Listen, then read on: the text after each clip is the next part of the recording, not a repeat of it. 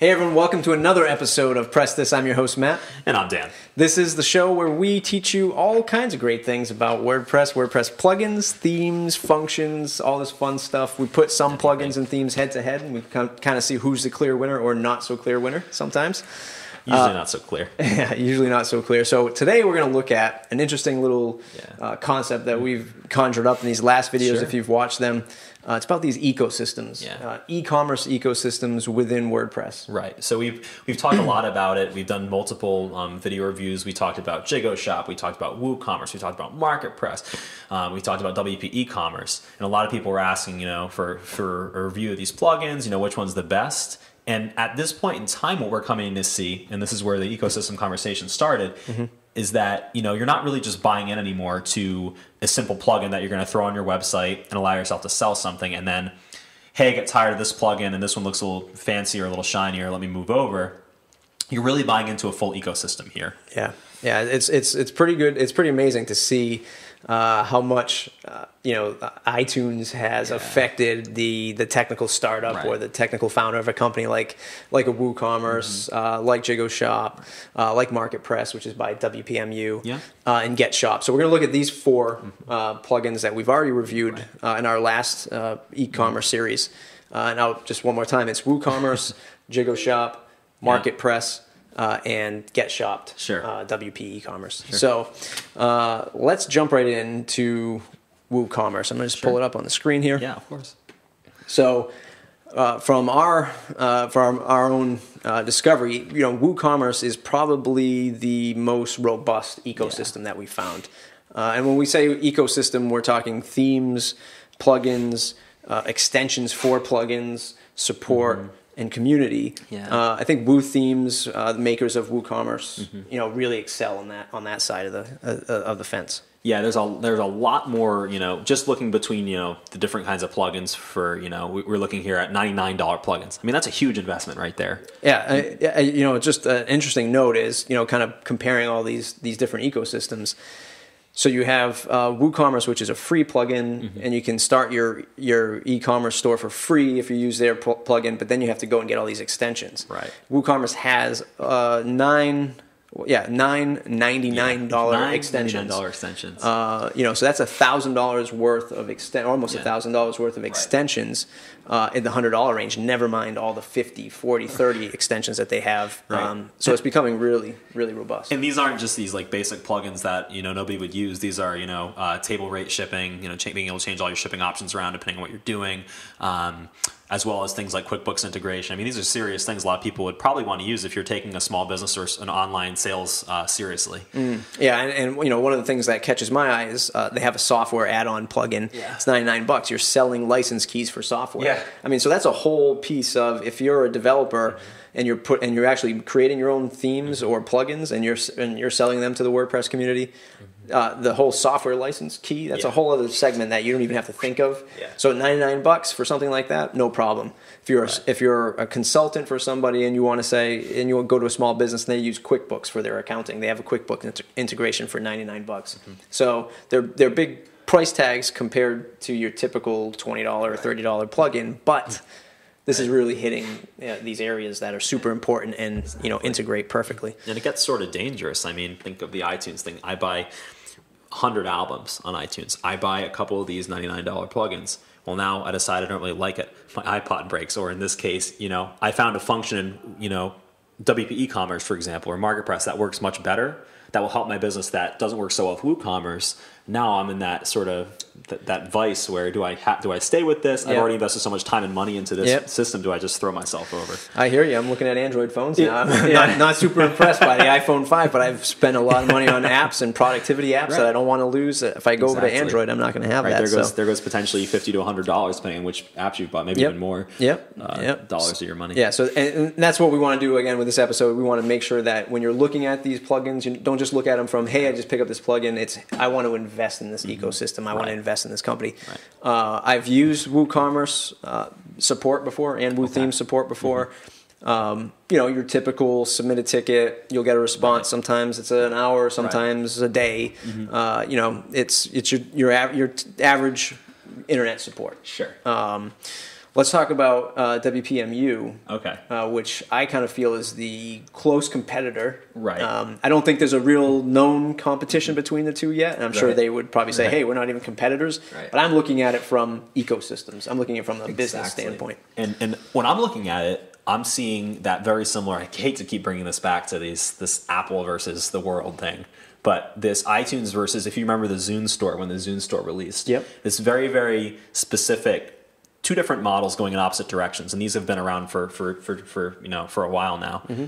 Woo, Woo, WooCommerce is very much you buy the you get the plugin for free, you buy the extensions for it. That's it the way WPMU is doing it with MarketPress is they're taking a, a very much more macro approach to it. You give us some money, a monthly fee. In this case, they're charging thirty nine fifty uh, per month uh, for for their themselves specifically.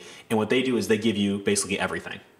So in order to keep that stuff up and running, you need to keep shelling out the money every. You know, every month, uh, but they give you access to every one of their plugins and themes, so you don't have to pay for them because you're sort of paying into that when you buy that. Yep. When you buy you're, that, you're making that that annual Right. investment up front. Right, you're getting tons of support live from them. Mm-hmm. So, I mean, I'm sure that the other guys aren't aren't too bad with their support, but Mm-hmm. this is live right on dot support.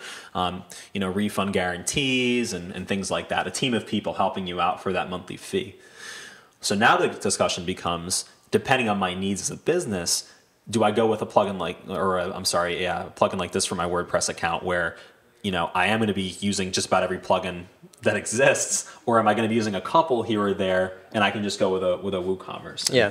and use that. Yeah, you know, it's I'm doing a talk at the Providence WordCamp uh, this coming Saturday, and you know, it's about selling WordPress to small business. Mm-hmm. If you're a developer or designer, but you're you know you're progressive and you really understand how to u- run and support WordPress, Right. Mm-hmm. this kind of solution probably not for you because you have the years of knowledge and you, you've been doing it for a while, so you don't Okay. understand it. But if you're a uh, a marketing consultant. Yeah. A lot of us, a lot of mar- you know, we deal with a lot of marketing consultants that they know how to get WordPress up and running. Mm-hmm. Uh, they don't know how to customize anything. They can, you know, traverse through everything, the, the screens, and they can Yeah. set up a page and a post. Uh, but when it comes time to, you know, real detailed support on Mm-hmm. code or themes or, or you know, custom fields and integrate, integrating that into the site, Right. Uh, or they need new function through a plugin, it's kind of like, whoa, where do I go? Yeah. Where, where do I go Yeah. for this help? And you know, WPMU sort of hits that need Right. uh, for that kind of Right. client. So it's interesting. It's it's it's definitely. Um, it's definitely, and, and they have these the one-off. You don't have to to dive into their ecosystem. You don't have to do it. but- Yeah, you can buy the the one-off plugin or theme for 19 bucks. You get one month of support for free, or with that that cost, and then there you have it. Uh, if you want to jump into that support and get everything, it's that 40 bucks a month, uh, and you can do a quarterly payment and an, and an annual payment.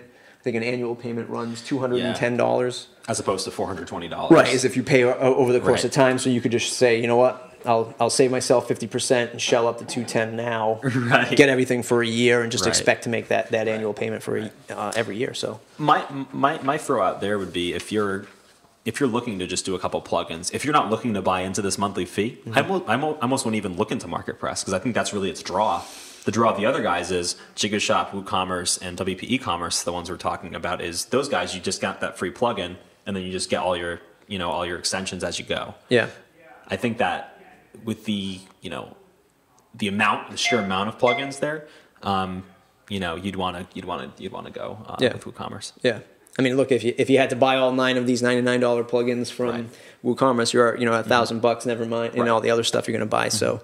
Um, interesting. Maybe we should eventually it, it'd be to go down and, and put each extension head to head. Yeah. You know, I think WooCommerce has the highest grade of these integrated Right. extensions. Of course, they have a community that they're opened up to where other people can go and build these Right. Mm-hmm. extensions for them. It's not specifically from them. Yep. So that's like another side of this ecosystem Yeah. coin. Is now you've be, created a marketplace for folks Yeah. Uh, to come in, and uh, you know, developers can contribute back and sort of like the iTunes store again. Yeah, and it, and it just makes sense. I mean, WordPress in itself is an open source. Um, you know, all contributions Mm-hmm. from people who use WordPress. They have their core team of just people who use WordPress and are very, very passionate about it. And I correct. think this ecosystem translates perfectly to Yeah. WooCommerce. I agree. Other guys. I agree. And we're back. A little bit of a technical error, just a slight error. But anyway, we're going to talk about uh, Jigoshop WP e-commerce. The other side of the spectrum. The other side of the spectrum. Uh, well, let's try to wrap this up uh, before we have any other technical Yeah. issues. uh, so we, we're talking uh, WooCommerce and WPMU. How I think that that is probably the most progressive ecosystems that we see right now, Right. Mm-hmm. as far as e-commerce is concerned in WordPress.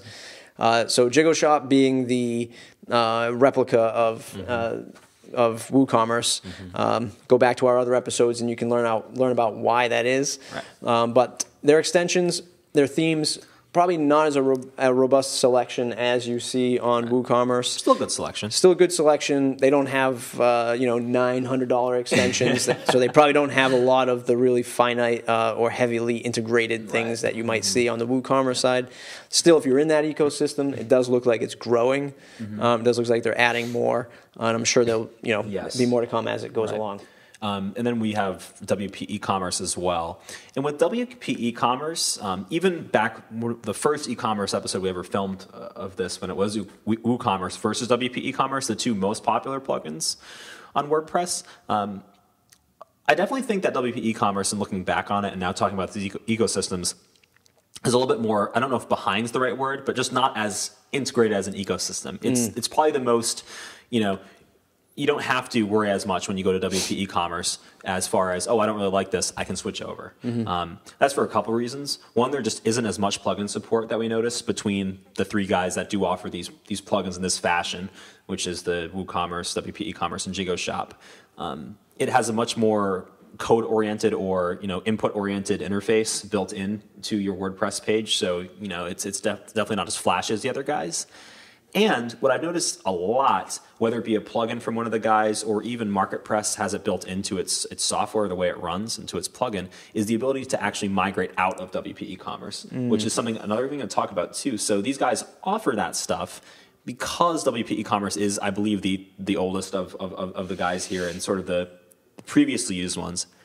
People jumping onto the new thing, onto the onto what's new and hot, right? Right. Are, are going to uh, be able to just transfer over in a lot of cases their information. Yeah, yeah. Uh, can't teach an old dog new tricks Yeah. kind of thing is where you know we'd like Yeah, to yeah, see we'd like to see these guys go and uh, you know compete. Right. Mm-hmm. And kind of, you know, give us some comp- competition is good. It'd Be great to see these Right. guys kind of grow this ecosystem if Jump they back can. into it, yeah. yeah if, if they can. Um, you know, they're probably doing very well because they, they are the widest adopted, but Yes. I'm sure their curve is going to start to go down. You've got it. Um, you know, as we as we move forward. They've hit their peak. Yeah. So um, so that's it. So that's that's our take on uh, e-commerce ecosystems. Um, it's looking at their plugins, looking at their themes in some cases, looking Right. at their support. What other additional extensions do they Right. Mm-hmm. have? Uh, are they marketing to you? Is, is are, are the offering are what they offering a good fit for the way that you develop uh, Right. WordPress sites or you want to support WordPress sites? Like we said, WooCommerce probably has the largest amount of selection, but WPMU gives you that monthly support. So if Mm-hmm. Yes. you if you need that, it's it's a great way to go. Right. Just a whole different route, whole different Yeah. thinking pattern. Right. Uh, so when you go to start your next WordPress e-commerce site, think ecosystem before you think plugin, uh, and then from there go from ecosystem plugin to extensions and see what everybody else has to offer. Double check, triple check, do what you have to do. Make sure before you jump into these waters that the waters you're jumping into are the ones you want to stay in. yeah, exactly, exactly. So you're all pruny and Right. Yeah. Please get me out of this pool. Uh, all right. So again, we apologize for a little technical error in between. Uh, do subscribe to this show. This is again. This is press this. This is the show where we will compare, uh, compete. We will talk about plugins, themes, WordPress stuff. Give you some reviews. Get you some user feedback.